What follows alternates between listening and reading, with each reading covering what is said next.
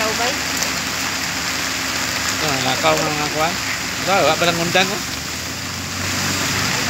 á